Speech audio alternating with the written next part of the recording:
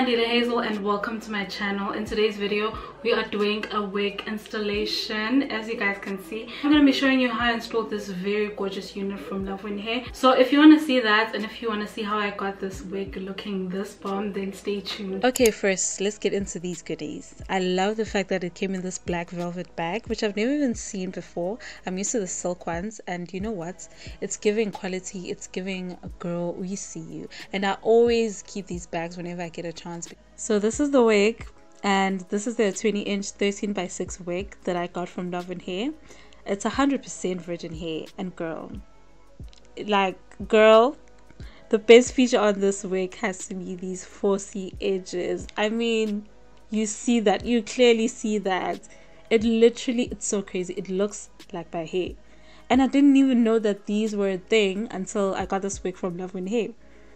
And listen, Look at the lace. What lace?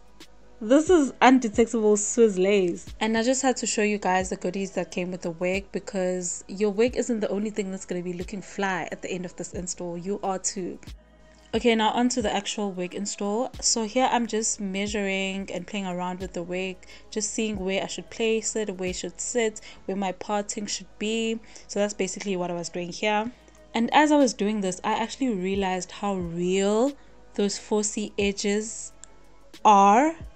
I mean, the texture, the look, it just, everything just looks so real. And girl, I was, I was shook okay so i just used my hairspray and i didn't do too much. I only did like maybe two layers of spray and then i went in with my blow dryer because i wasn't trying to do too much because you saw how thin that lace is. You saw how undetectable and see-through the lace is. So i just knew that it was going to melt on me perfectly which it absolutely did. So i just pulled the wig a bit and i'm just pressing on that with my comb and you guys it looks like i mean if you look at it properly it actually looks like a blowout. You're gonna see the end what I'm talking about. Because, like I said, I've never owned a wig like this before. So, the entire time I was just like, oh, okay, wow, I didn't know this was possible.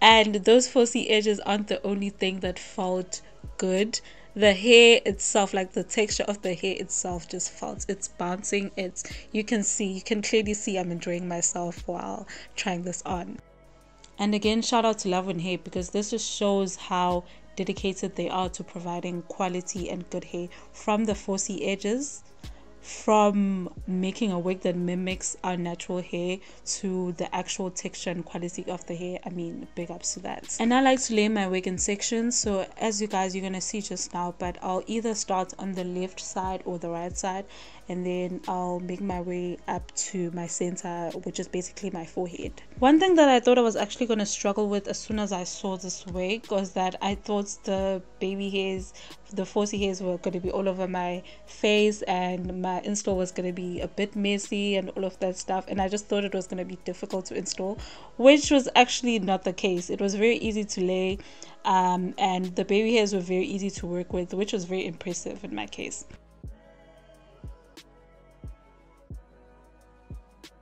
And I would actually really recommend this wig to someone who's a beginner, someone who just started doing wig installs, or someone who just doesn't like those um, dramatic or complicated baby hair situations that we usually do. This is the perfect wig for you. Or if you're trying to go for that blowout leave out type of look this is the wig for you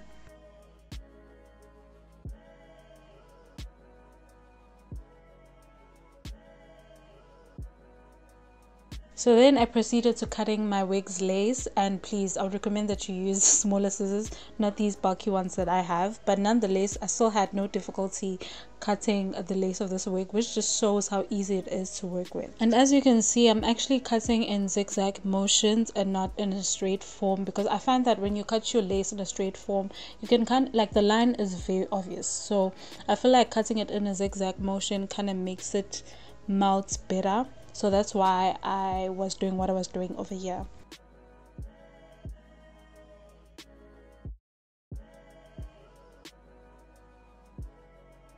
Now I'm just fixing my parting and making sure that it's nice and straight nice and neat.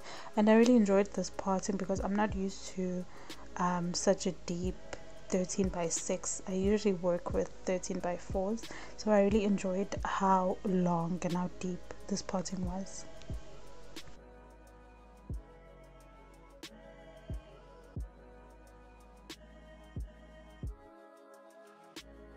To make sure that my lace is matching my skin tone as best as it should and laid properly, I use, instead of using foundation, because you know how people will use foundation, I like to actually use my contour stick and apply a bit of that to my brush and then I just use that brush and sort of um, blend it out.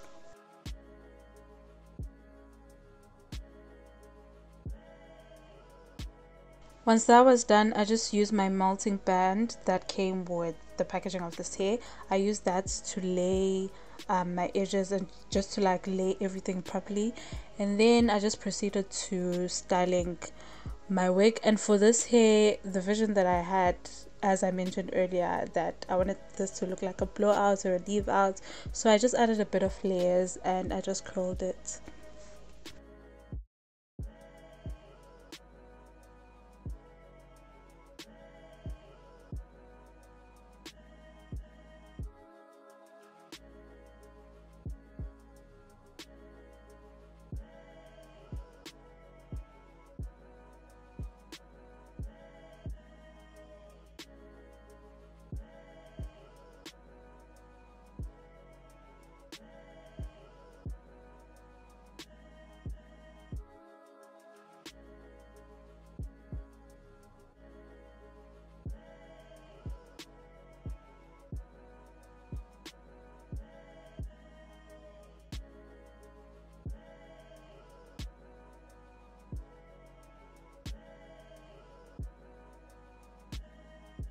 and we have come to the end of the video. I hope that you guys enjoyed this video. If you did you know what to do. Please like comment and most importantly subscribe to my channel and i will see you in my next video